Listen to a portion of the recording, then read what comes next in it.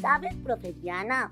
Cuando te acompañé a vacunar a tu perrito Benjamín, me gustó mucho esa profesión de cuidar a los perros y a las mascotas. Yo también quisiera ser veterinaria cuando sea grande. Ay, Qué bonito, Claudia, qué bueno que te gusten los animales.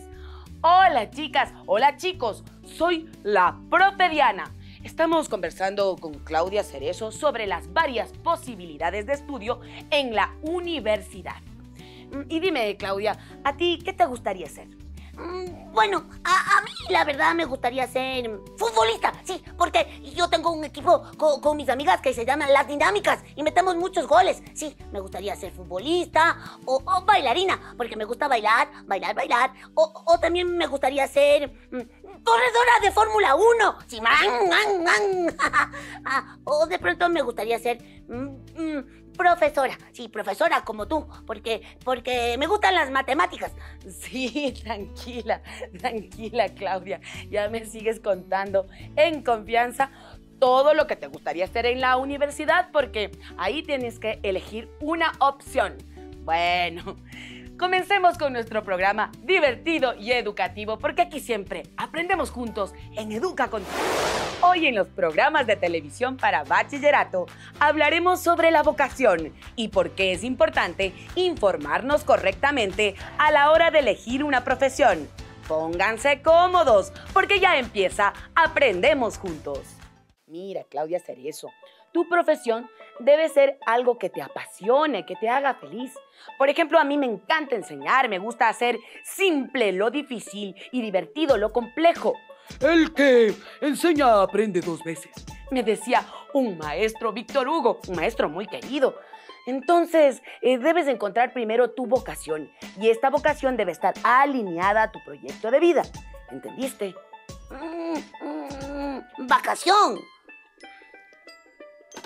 Ah, vocación. ¿Y qué es eso, profe Diana? Presta atención a este video, Claudia. Sí, sí, sí. Vocación. Yo quiero saber mi vocación. Quiero saber mi vocación. ¿Cómo estás, profe Diana? Hola, chicas y chicos. ¿Sabías que la palabra vocación proviene del latín que significa llamado o inspiración?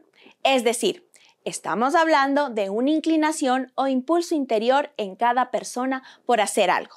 También tiene que ver con la curiosidad, el interés y el placer que te produce llevar a cabo cierta actividad.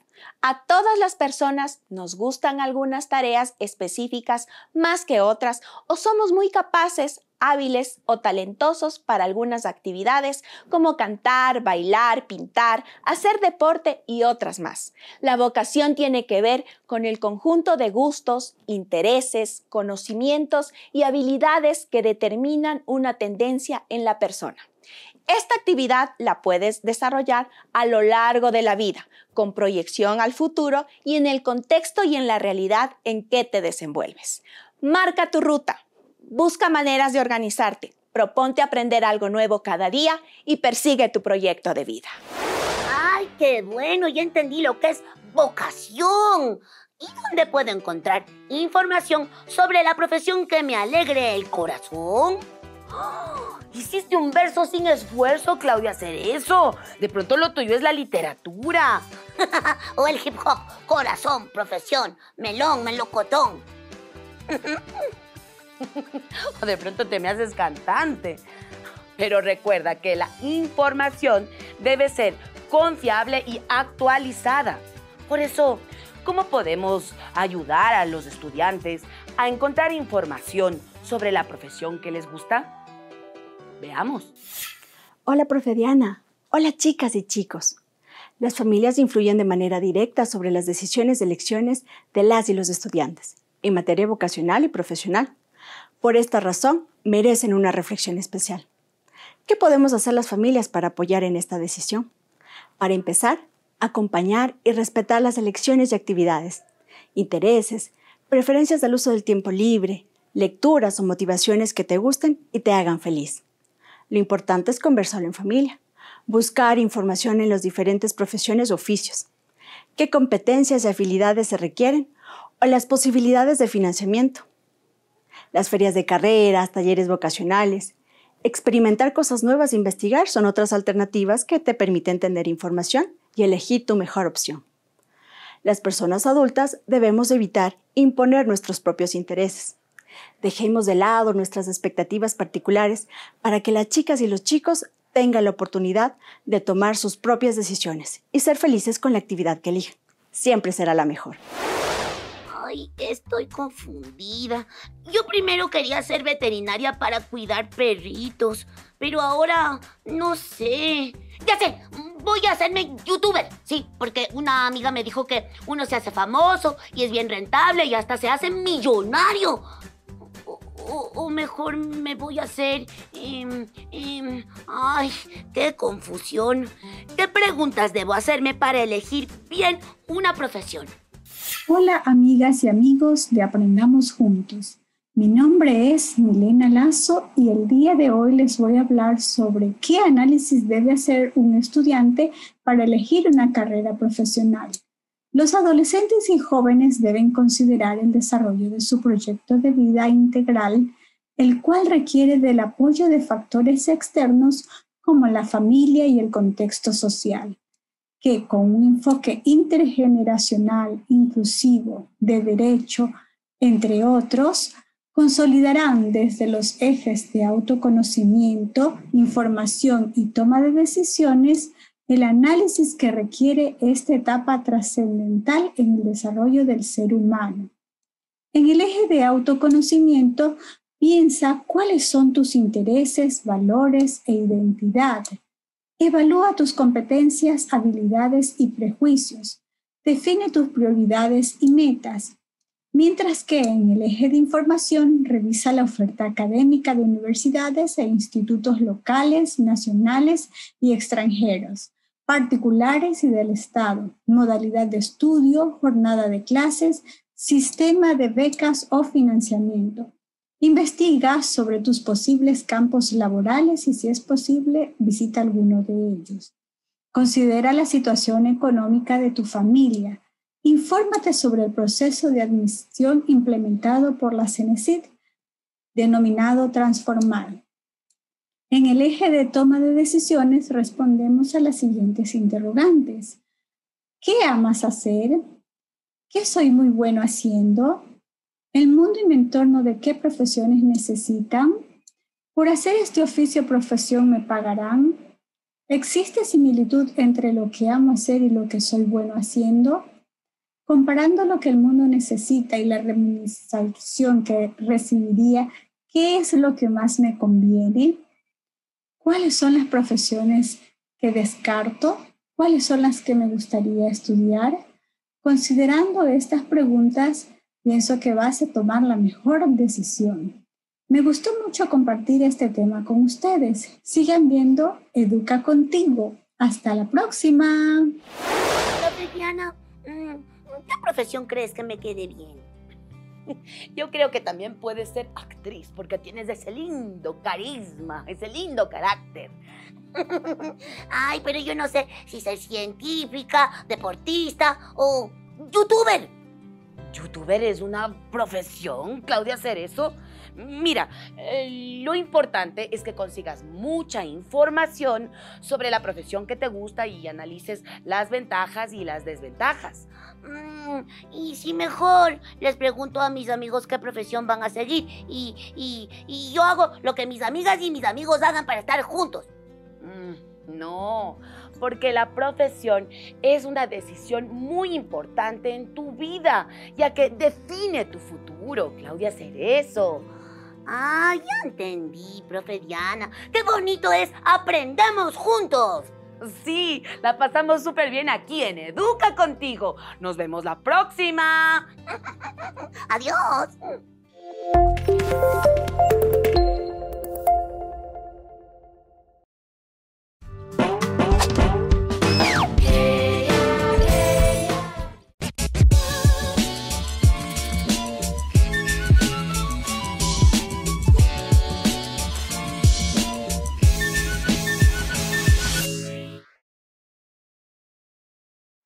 Imaginas poder conocer la posición del electrón alrededor del núcleo? En el video anterior aclaramos que no se puede determinar con precisión la posición, pero si lo manejamos con probabilidades, pues es exactamente lo que hizo Schrödinger. Desarrolló una ecuación que describe la región de probabilidad, donde podemos encontrar al electrón girando alrededor del núcleo. Sin duda, las aportaciones de Browley de la naturaleza dual del electrón y Heisenberg, el principio de incertidumbre, prepararon el camino para el desarrollo de una amplia y nueva teoría de la estructura del átomo. Ahora, ya sabes de la naturaleza ondulatoria del electrón y la definición de su comportamiento con términos apropiados para las ondas. Así, se abandona cualquier intento por tratar de definir con precisión la ubicación y su trayectoria como si solo fuera una partícula. El nuevo enfoque es un modelo que describe con precisión la energía y la ubicación del electrón en términos de probabilidades. Esto corresponde al modelo mecánico cuántico de la materia. Su importancia radica al constituir la nueva y potente forma de cómo entendemos y visualizamos la estructura electrónica de un átomo. En nuestra clase Profe YouTuber de Química hablaremos sobre el modelo mecánico cuántico de la materia.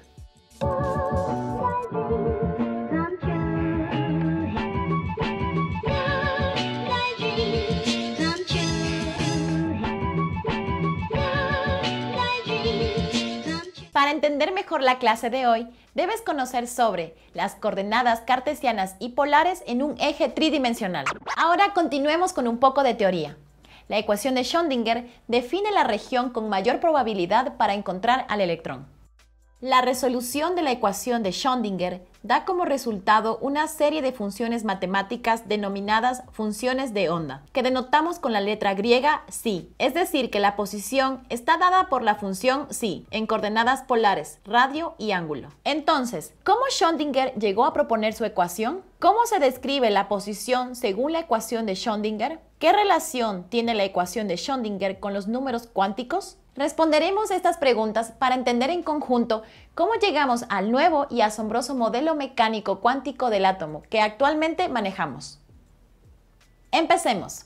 ¿Cómo Schrödinger llegó a proponer su ecuación? Se basó en las aportaciones de dos científicos, de Browley, la naturaleza dual de la materia, electrón, ya se conocía que el electrón actuaba como una partícula, pero de Browley propuso que al igual que la luz, el electrón tenía características de onda. Así dual se refiere al comportamiento de partícula y onda. Pero una onda no puede tener una posición definida en el espacio, porque se sigue propagando, como las olas de agua cuando lanzamos una piedra al agua.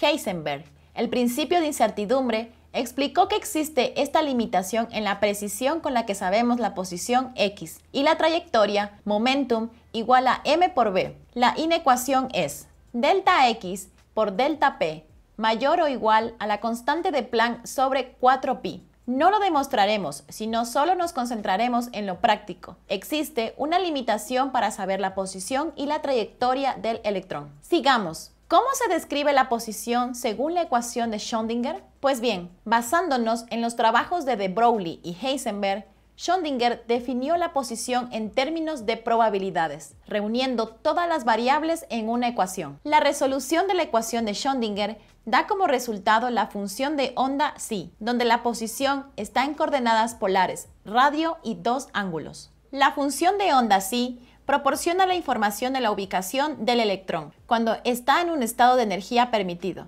Pero, si la ubicación del electrón está dada por una probabilidad, ¿cómo lo visualizamos en el espacio? Lo hacemos como una densidad de probabilidad como se muestra en la imagen. Observamos cómo una nube de puntos, donde las regiones con una mayor densidad de puntos es donde existe la mayor probabilidad de encontrar el electrón. También se denomina densidad electrónica. La región donde no existe probabilidad de encontrar al electrón se llama nodo. Finalmente, ¿qué relación tiene la ecuación de Schrödinger con los números cuánticos? Como ya sabíamos, la ecuación de Schrödinger describe la probabilidad en función de un radio y ángulos. Pero ¿cómo representamos la densidad electrónica? Lo hacemos con tres números cuánticos. Jabor había establecido el número cuántico principal n, que describía las órbitas permitidas, pero la función de onda psi se representa con tres números cuánticos, n, L y M de la siguiente manera. La solución de la ecuación de Schrödinger nos da un conjunto de funciones de onda denominadas orbitales. Cada orbital describe la distribución específica de la densidad electrónica, como la energía y la forma característica. Es importante establecer la diferencia entre la órbita de Bohr y el orbital de la mecánica cuántica. La órbita es la trayectoria definida y el orbital es la región de la probabilidad. El orbital está definido por n tamaño, L forma espacial y m orientación. En la clase de hoy hemos aprendido que Schrödinger basó su ecuación en dos aportaciones importantes, la naturaleza dual de la materia de de Broglie y el principio de incertidumbre de Heisenberg que Schrödinger desarrolló su ecuación que describe el modelo mecánico cuántico de la materia, la ubicación del electrón como una densidad de probabilidad y la ubicación del electrón en un estado de energía permitido. Que el modelo mecánico cuántico de la materia se define por funciones de ondas denominados orbitales, con energía y forma característica, descrito por tres números cuánticos n, l y m. Estoy segura que estos conocimientos te serán de utilidad y podrás aplicarlos en tu vida diaria. Hasta la próxima.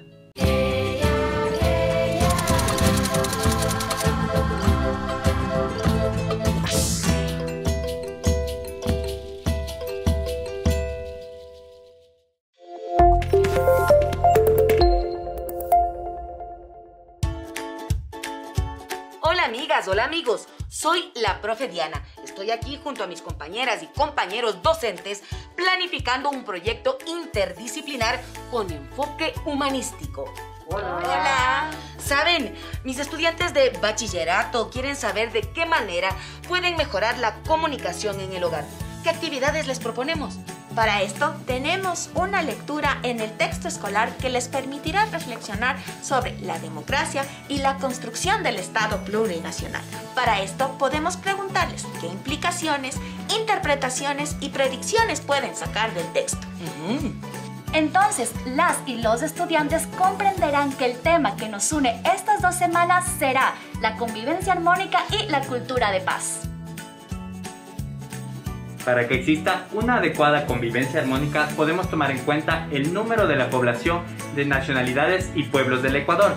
Escuchen, se puede indagar sobre estos datos y colocarlos en la recta numérica de números naturales y luego se los puede separar en intervalos. Así se visualiza la conformación de los distintos pueblos y nacionalidades del país y la importancia de reconocerlos. Gracias a las obras literarias podemos desarrollar nuestras propias ideas y convicciones, ampliando nuestro punto de vista, expresar nuestras emociones y pensamientos. Esto a la vez desarrolla el pensamiento crítico y la opinión, algo muy importante en la formación de la personalidad. Exacto, y para que puedan representar a través de la acción poética que pinten frases de las obras literarias que representen el derecho a la diversidad y a la autoidentificación étnica. Lo pueden hacer en las paredes o en los carteles de gran tamaño. Muy buena idea. Qué lindo es interrelacionar las áreas del conocimiento. No hay nada mejor que el trabajo colaborativo. Gracias, profes. Además, no se olviden que debemos invitarles a que guarden todos sus productos en el portafolio. Con seguridad los utilizaremos en el siguiente proyecto, que será Sociedades Sostenibles. ¡Qué bien! Esto les va a encantar, porque siempre mis estudiantes se preguntan cómo los hogares con buenas relaciones ayudan a disminuir las problemáticas de convivencia. A ver, termino de escribir y ya está. Gran trabajo, profes. Qué lindo es planificar. Recuerda, si necesitas más información, puedes ingresar al siguiente enlace, recursos2.educación.gov.es. Selecciona el ciclo escolar y accede a las guías y lineamientos para la elaboración de proyectos interdisciplinarios. Nos vemos pronto. Adiós.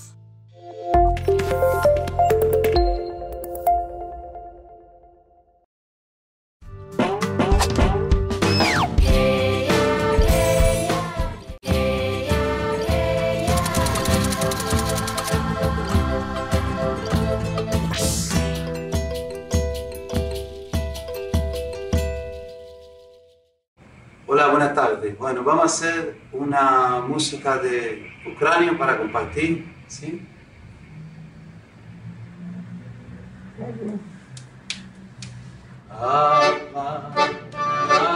Esta es mi abuela Sofía y el de al lado soy yo. Siempre tuve la necesidad de sentirme más cerca de ella, de nuestro vínculo como abuela y nieto, pero nunca supe bien cómo. Un día mi papá me llamó y me pidió que vaya a tocarle el acordeón para despedirme porque ella estaba muy perdida, pero ella ya no me reconocía.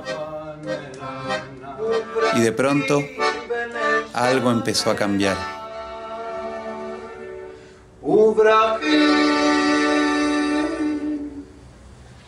בני Desde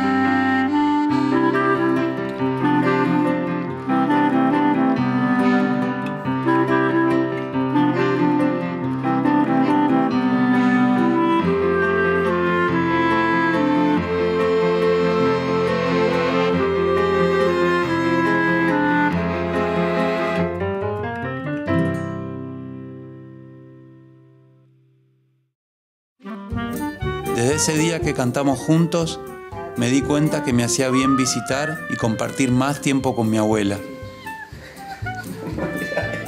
¿Y en pose? Es así. A ver, ahí te tengo bien. En pose y no en pose. No pose. Muy bien. Muy bien saliste. Estoy viendo así. Cuando Andrés venía, de repente la señora Sofía cambiaba de humor. Parecía una estrella de Hollywood. Jugamos a hacer un programa de televisión y empecé a grabar nuestros encuentros, como podía. Oye, creí que era el martes. ¿Qué pasó, Andrés? No, no sé. Creo que se me rompió la cámara.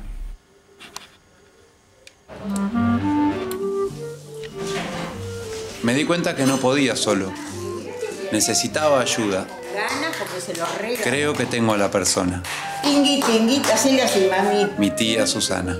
Es eso nada más, ¿sí? Que se, necesito que se nos vea a los dos y eso, que no me cortes la, la cabeza y que no pongas la, agarrarla del costado, no adelante porque se te ve la mano. ¿Es claro? Perfecto. ¿Sí? ¿Lo entendés? Si no, pregúntame. Claramente.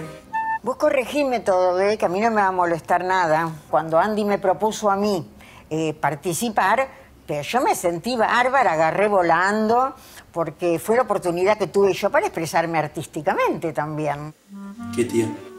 Bien. No, no, no. Está grabando la tía.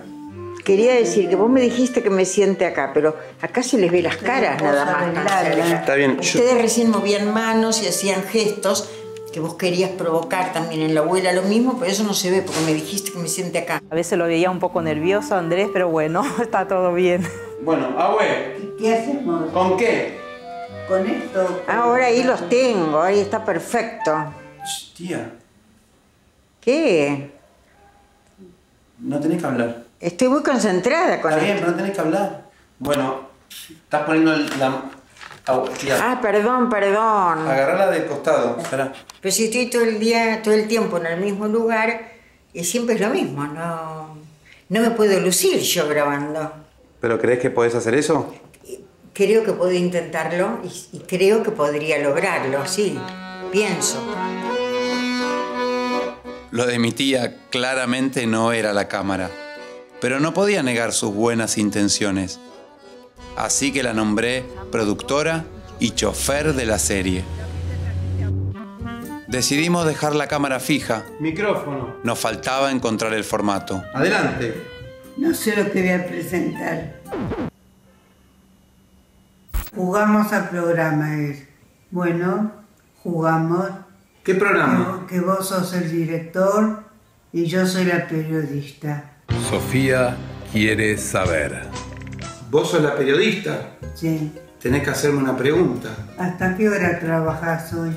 Eh, bueno, gracias por invitarme al programa primero.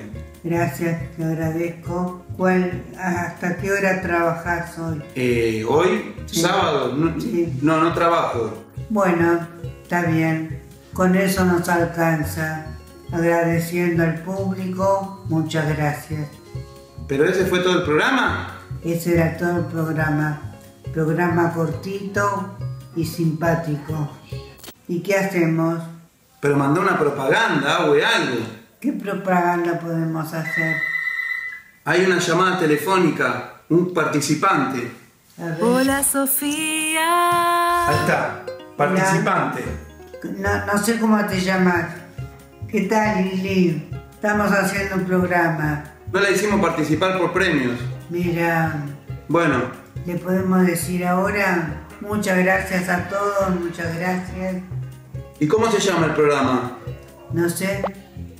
Poner un nombre. Dolor de cabeza. El mágico mundo de Sofía. Soy Andrushka. Y soy el conejito. No, yo soy el conejito. Ah, yo soy el conejito. No, vos sos Andrushka. Yo soy el conejito. Yo soy Andrushka y vos sos el conejito. Una canción que dice un, dos, tres, Ebenun Shalom Aleichem. Palma. Ebenun Shalom. Y mientras jugábamos, mi abuela me ayudó a darme cuenta de qué trataba nuestra serie. ¿Te imaginas si no seríamos abuela y nieto? Ni nos hubiésemos conocido, nada. Y ahora tenemos una linda amistad, un cariño y una linda propaganda. ¿Propaganda de qué, abue? Una pro- propaganda de cariño, de unión, para que todos los nietos estén así con las abuelas como yo con vos. Eso le hace bien a todos. Esta es mi abuela Sofía. Y un día, así de casualidad, grabándonos, nos volvimos a encontrar.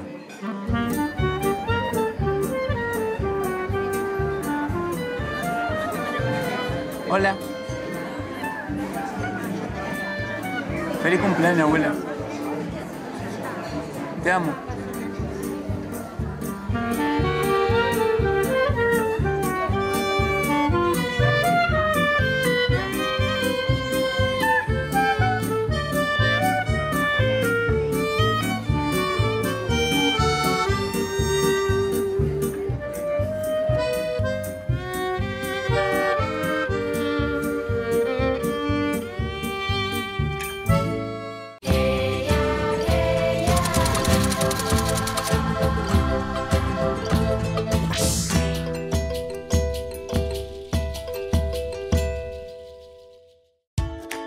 Aprendemos juntos con la profe Diana, de lunes a viernes, de 15 a 16 horas. Lunes, educación inicial y preparatoria. Martes, segundo, tercero y cuarto de educación general básica. Miércoles, quinto, sexto y séptimo de educación general básica. Jueves, octavo, noveno y décimo de educación general básica. Viernes, bachillerato. Seguimos jugando y aprendiendo juntos. Síguenos en nuestras redes sociales.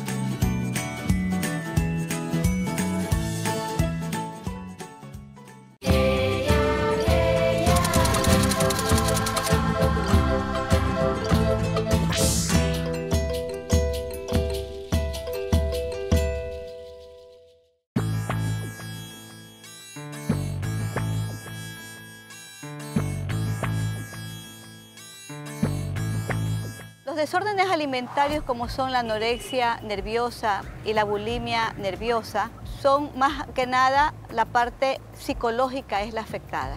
Sigo con anorexia porque siento que no puedo manejar una comida normal. O me veo gorda o me veo flaquísima. dejan de comer eh, y pierden bastante peso. A veces se ven al espejo, se ven este, gorditas, y, pero no, en realidad no, no lo están. Una persona con baja autoestima busca mecanismos para llamar la atención, para que sus padres les, eh, les traten de manera diferente. Muchas veces hasta los mismos padres, las mismas madres las impulsan a, a verse más delgadas. Son fotos tras fotos tras fotos que tú prácticamente estás posicionándote con ellas y te estás criticando a ti misma. La ansiedad que uno tiene, o sea, es, es insoportable. Ellos se ponen un peso objetivo y no quieren comer más allá de lo que saben que les va a hacer perder su peso. Hay una búsqueda inconsciente de una forma de hablar, de decir las cosas, pero que no se las puede decir. Y eso que no se puede decir a través de la palabra se lo dice a través del cuerpo. Y el problema es que muchas veces puede llegar incluso hasta la muerte. Esta no soy yo, o sea, me estoy convirtiendo en algo que ni siquiera sé qué es y es, para mí es un monstruo, así es horrible.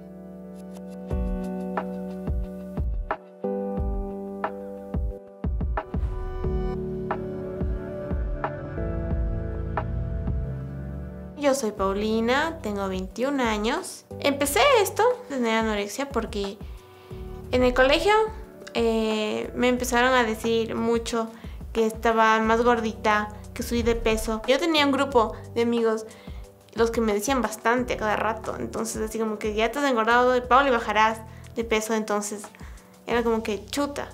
Luego tomé conciencia y dije, está bien, o sea, sí estoy como que pasadita de, de peso, entonces voy a empezar haciendo una dieta.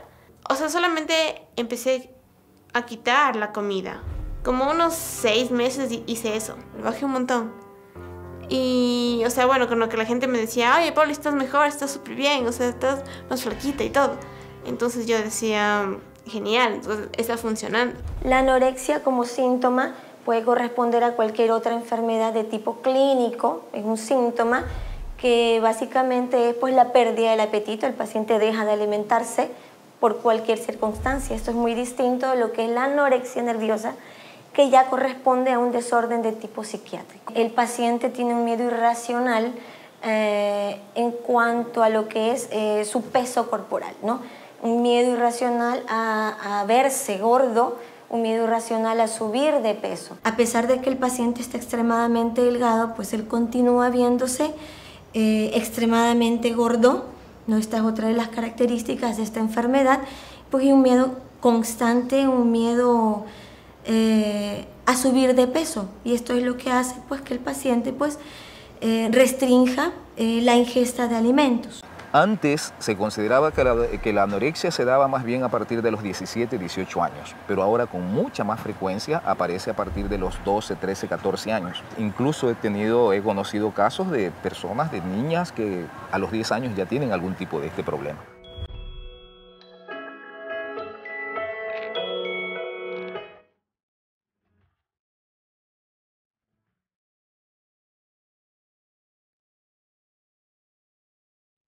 Yo llegué a pesar cuando estaba gordita eh, 51 kilos. Y yo mido un metro 54, soy pequeña. Entonces, bueno, lo normal en mí era un, estar en 47 kilos, según lo que me decía la, la nutricionista. Y como me daba miedo, queríamos llegar a 45. Pero lo más bajo que yo llegué fue 33 kilos. Y, wow, eso sí fue como la muerte, o sea, eso sí, terrible. Y ahora estoy como en 39, 38. Una de las principales causas es emocional. Emocional en el sentido de que los jóvenes están con una lucha perenne de no perder su figura. Justo en la pubertad donde hay los cambios hormonales, hay los cambios en los caracteres físicos, entonces ellos quieren tener una figura deseable. Lo de los amigos fue como que, no sé, como que prendieron un fosforito y pa, o sea, a la mecha, porque era como que yo estaba a la búsqueda de algo a que aferrarme. Y encontré la comida. Como me dijeron que estaba gorda, fue como que aquí está la solución. Entonces tengo que estar flaca y así voy a estar bien. Uno de los factores de riesgo para eh, que predisponen a que los adolescentes padezcan este tipo de enfermedades es precisamente eh, este tipo de factores psicológicos, ¿no? La autoestima muy baja. Son adolescentes que se dejan influenciar mucho precisamente por esto, porque su autoestima no es adecuada, son muy influenciables y muy propensos a caer en este tipo de problemas, en este tipo de trastornos. Soy Camila Robles, tengo 18 años. Cuando tenía 16 años, sí, este, era gordita, tenía sobrepeso y empecé, empecé a sentirme mal con mi cuerpo y quise yo bajar de peso, pero no bajé este, yendo al gimnasio como se debería de bajar ni con dieta, sino dejando de comer, eh, también ingiriendo pastillas para poder bajar de peso y ya llegó un punto en que sí se hizo adictivo. No, no almorzaba, no merendaba, no desayunaba. Cuando tenía 16 años, 15, 16 años, este, yo veía a las demás chicas y eso, entonces estaba de moda eso, lo de la bulimia, lo de vomitar después de comer. Entonces yo cada vez que comía algo, o sea, iba al baño así, me metía cualquier cosa y lo vomitaba. Y, o sea, solamente fue por, eh, por un tiempo, por cinco meses nomás. Y ahí ya dejé de hacerlo.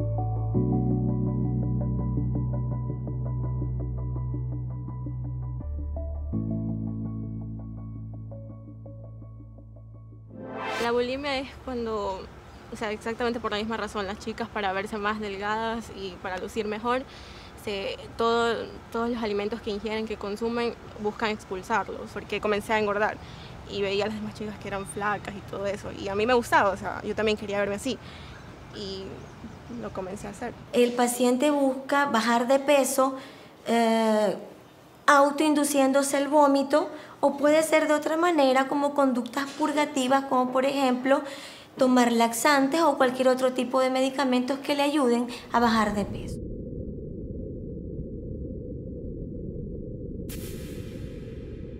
Primero te da ansiedad por comer, comes full. Y luego de ahí te vas a sentir culpable porque lo que tú buscas es estar flaca. Entonces sabes que comiste un montón te llega y dices, oh por Dios, voy a estar obesa. Entonces tengo que sacar esto como sea. Es como que así estoy, eh, no sé, como que supliendo toda esa necesidad que uno tiene dentro, o sea, el problema que uno tiene. Pienso que está totalmente mal, o sea, tener anorexia, vomitar, o sea, es pésimo. Hay también eh, ideas de tipo irracionales. Básicamente, esta sería una de, este, un tipo de idea irracional, ¿no? El verse gordos cuando en realidad pues están extremadamente delgados. Es una idea de tipo excesivo, una idea de tipo irracional. Hasta ahora no hay una explicación lógica por la cual se pueda decir por qué aparecen este tipo de, síntomas, pero básicamente esto es lo que se da en este tipo de enfermedades.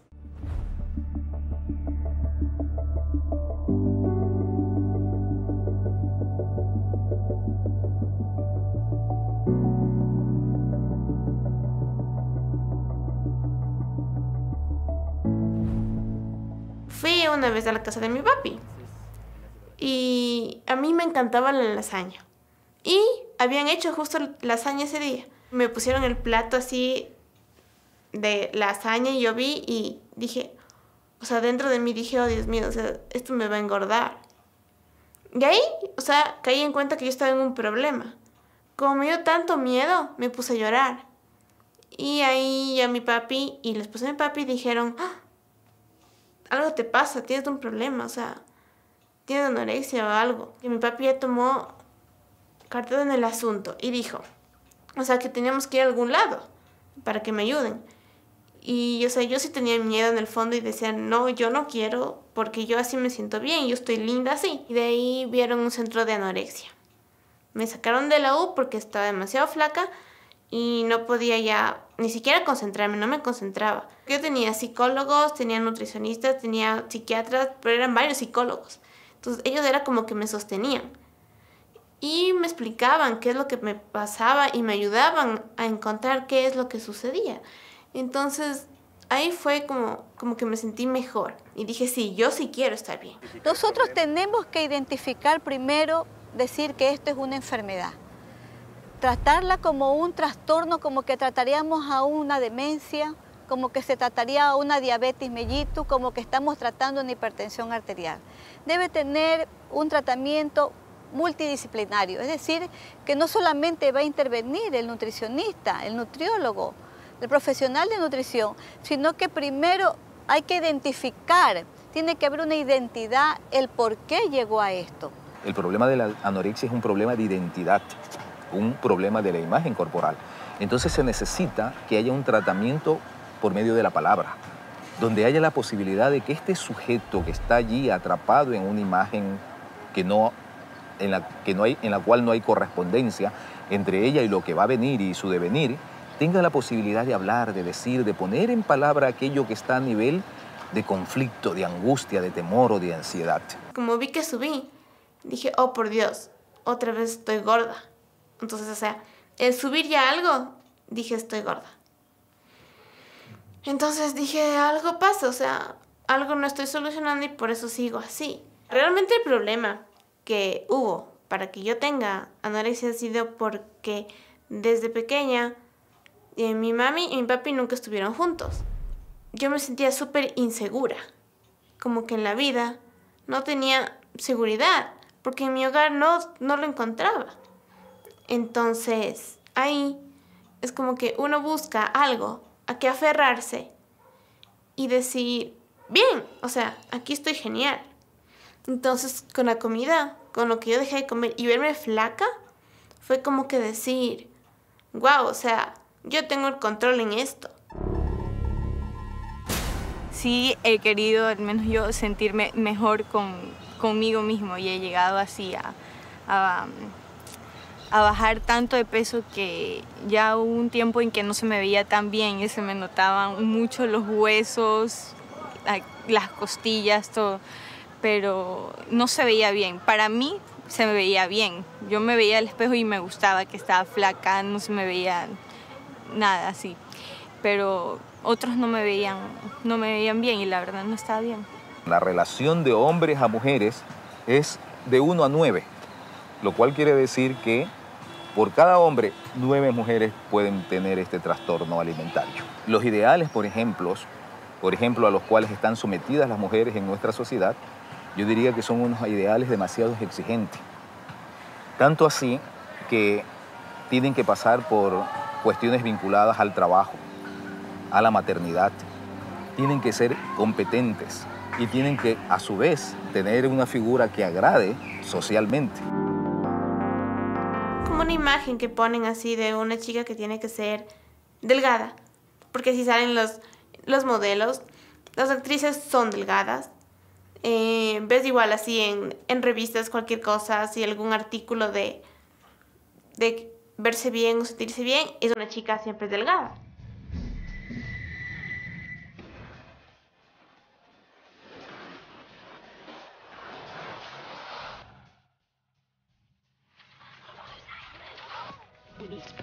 Skin.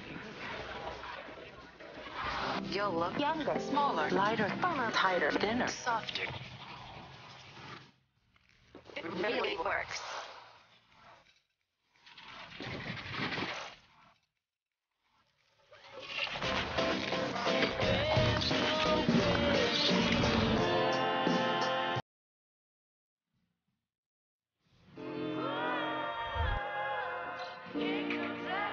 Se sienten presionadas por, eh, por la sociedad. O sea, porque en sí debe de ser, debe de ser este, lo normal sería que todas las chicas sean este, delgadas, altas, guapas y todo eso. Entonces eh, se preocupan por su, por su peso. Mi nombre es Ana Gabriela Ferro, tengo 13 años, mi sueño es ser modelo. A veces son por, por, por motivo de los amigos, de los compañeros, que empiezan a, a criticar a la gente, que ve, estás gorda, estás fea, y uno se siente mal. Entonces, para que no le digan nada, para disimular, no empiezan a comer. En la escuela yo era más gordita. Entonces eh, me decían, uy, estás gorda, me criticaban. La primera vez que me dijeron, yo no, yo no empecé a comer. Y mami se dio cuenta y dijo, ¿qué pasó? Y hasta me llevaron al médico. Y ahí yo le conté la historia que me decían gorda, que era fea, gordiflón y todo eso. Entonces eh, ahí me dijeron, no, que los consejos, que no, que no, que no le esperemos bola. Ya fui creciendo y ahí empecé a hacer ejercicio y ahí ya estoy bien. Pero si me llegan a decir eso, yo, ah, ya, qué bien, bueno. El discurso que se maneja es un discurso del consumo y el cuerpo también entra a formar parte de esa, de esa historia, llamémoslo así, de esa competencia, lo cual está convirtiéndose hasta cierto punto en una especie de epidemia porque ya no son solamente las mujeres, también algo de lo que leía en Europa, ya comienza también la competencia a nivel de los varones. Mi nombre es Cristel González, tengo 17 años. Yo quiero ser modelo porque me gusta transmitir a las demás personas la confianza. Quiero eh, dar a mostrar que no necesitas ser delgada, la típica modelo, sino que, sino que sientas confianza en tu cuerpo y que te guste lo que haces. En el internet tú ves modelos que son delgadas, modelos de Europa, que son las modelos más delgadas de todo el mundo. Entonces tú te sientes como que acomplejada, aunque tu cuerpo está bien, para ti no lo está, porque tienes, tú te comparas mucho con las otras chicas y tú te haces creer a ti misma que tú no estás bien. Esto del modelaje, hay, hay esto de la anorexia porque porque nosotros vivimos en un mundo, eh, reprimidas en un mundo del cuerpo perfecto, del cuerpo perfecto que yo quiero ser como la modelo de Victoria's Secret. Cogen y piensan que dejando de comer o vomitando la comida, se comen, qué sé yo, un pastel y se comen no sé qué. Y sí me ha tocado ver modelos que cogen y, y se toman las pastillas, las típicas pastillas que son para, para, para botar todo lo que es grasa. Y eso no está bien. Hay modelos que se mueren por esto de la anorexia. Tenemos que ver que también tenemos que estar nosotros bien y, saludablemente. ¿ya? Porque algunas dicen, bueno, yo quiero ser como tal modelo, pero todos no tenemos la, el mismo, la misma contextura, la misma, o, o qué sé yo, el mismo cuerpo.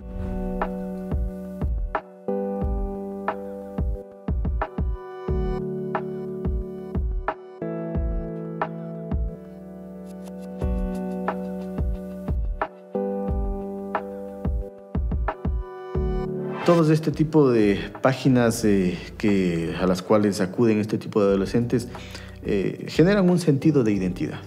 Muchas veces las eh, pacientes se sienten aisladas no encuentran eh, una persona que les comprenda, una persona que les entienda, que les apoye. Y claro, al ir a estas páginas, al sentirse identificados, primero porque se dicen, ah, ya, no he sido solo yo, han tenido otros problemas. Las niñas, las adolescentes van a encontrar motivación en, las, en los mensajes como eh, alcanza la perfección, ser delgada es sinónimo de éxito, eh, yo pude lograr, yo bajé tantos kilos y lo pude lograr, tú también podrás hacerlo, ¿no es cierto? Evidentemente son blogs negativos son sitios negativos en los que eh, los pacientes están fundamentando todo su entorno, están fundamentándose sus objetivos de manera equivocada. ¿Cómo evitamos que este tipo de información realmente afecte o llegue hacia los adolescentes? Va a ser eh, muy difícil que tengamos como policía que estar ahí 24 horas, ¿no es cierto? A ver qué página te metes, cómo estás, ¿no es cierto? Eh, todo esto mejoraría eh, con darles un poquito más de tiempo a los hijos, a los adolescentes, ¿no es cierto? Que los escuchen. Entonces, claro, si es que el adolescente, el adolescente ve que sí tiene un espacio en donde es importante, en donde es escuchado, en donde le toman en cuenta su opinión, no necesita buscar sitios en donde justamente están abiertos a todo tipo de opiniones y están buscando justamente que estos, estos adolescentes se unan a estas páginas. Si es que tienen justamente un espacio en el hogar, no van a buscarlo afuera.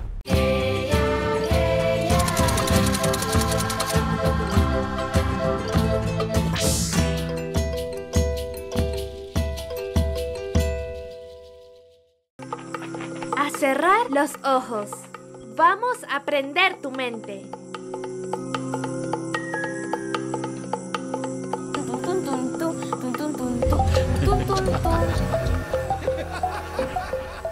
Escucha y conoce un mundo dentro de tu cabeza. Educa Radio, todos los días en tu emisora favorita.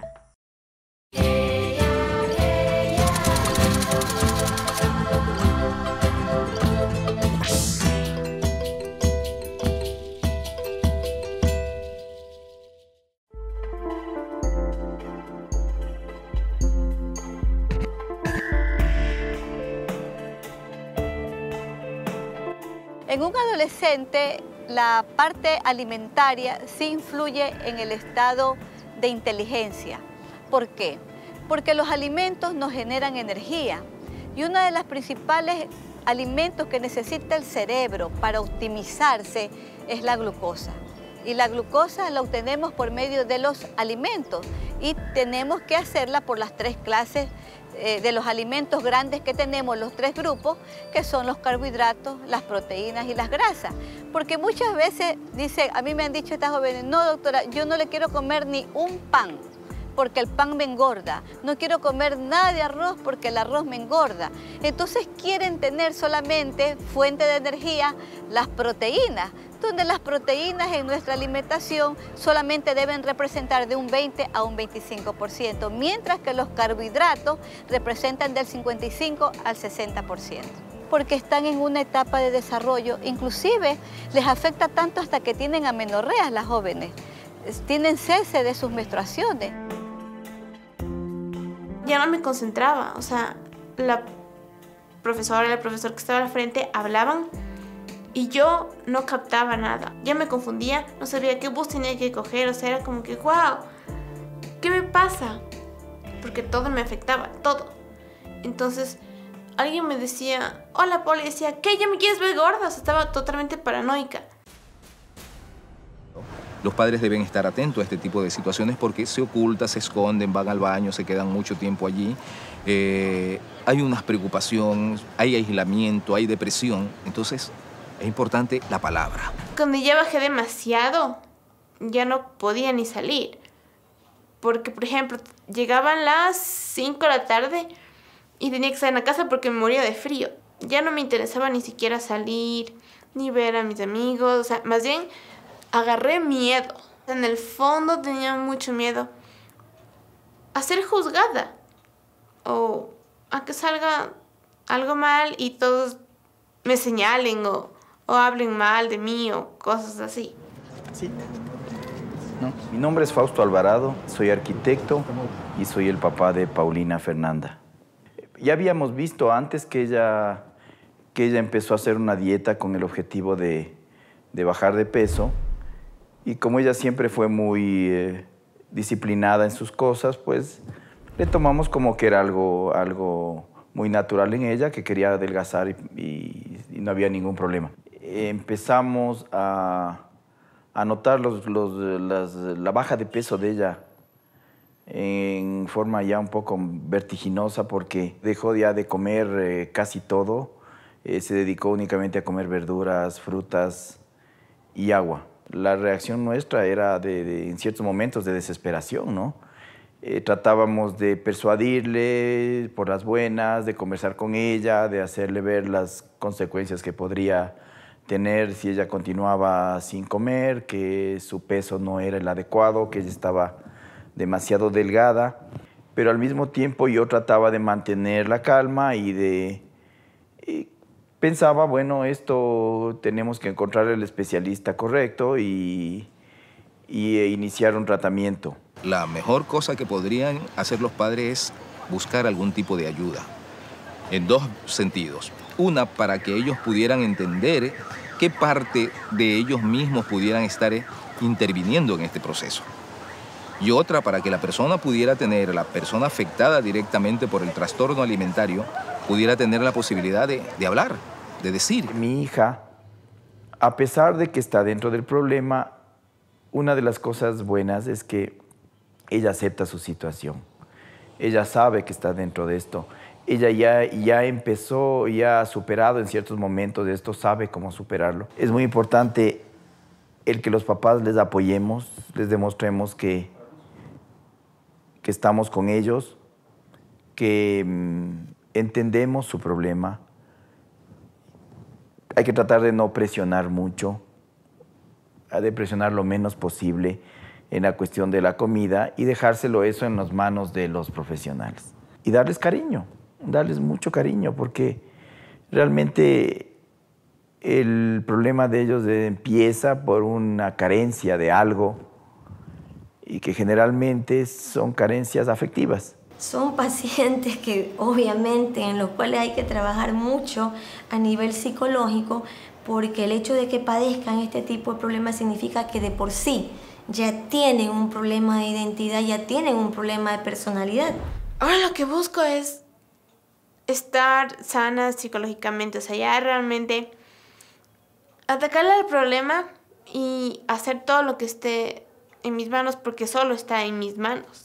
Yo les aconsejaría que en ningún momento se descuiden de sus hijos, de conversar con ellas, de preguntarles cómo están, cómo van sus, sus expectativas, cómo van sus, cuáles son sus sueños, qué es lo que, cómo se sienten consigo mismas, porque el problema de la anorexia empieza por una baja autoestima. Hay que tratarla como una enfermedad y sí he visto muy común porque yo he tenido el caso que hasta jóvenes yo las he ingresado aquí en el hospital. Las he ingresado por su bajo peso. Han sido ingresadas por la anorexia. Ayudar más bien a que las personas encuentren una forma de valorar las capacidades, de la formación, los aspectos intelectuales, los, eh, los aspectos artísticos y que vayan más bien por el camino de lo que es la academia, más que por el asunto del cuerpo. Enseñarles desde pequeñas que eh, lo más importante es lo que tienen en su corazón, lo que tienen en su cabeza y no cómo se ven.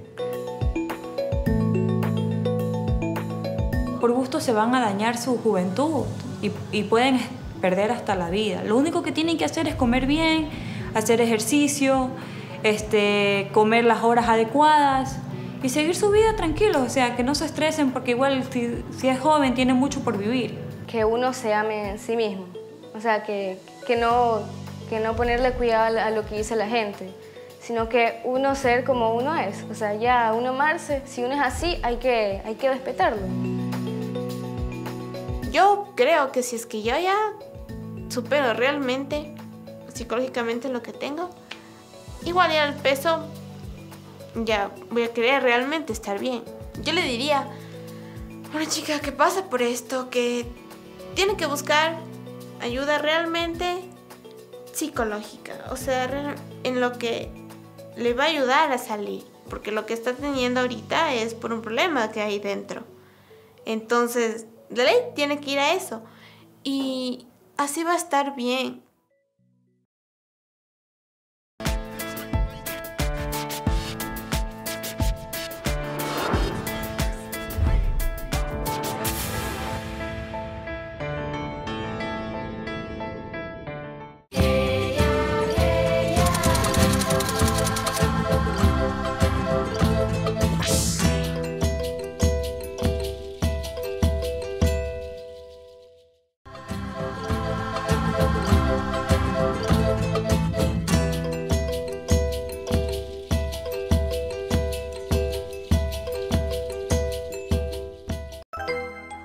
Frente al abuso sexual, todos los profes pueden actuar.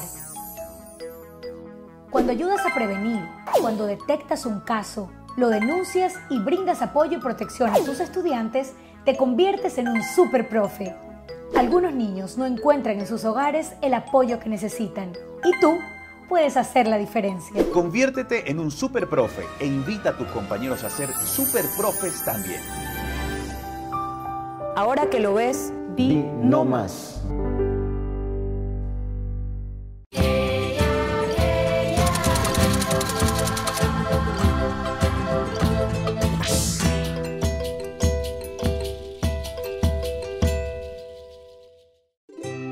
Somos la televisión educativa del Ecuador.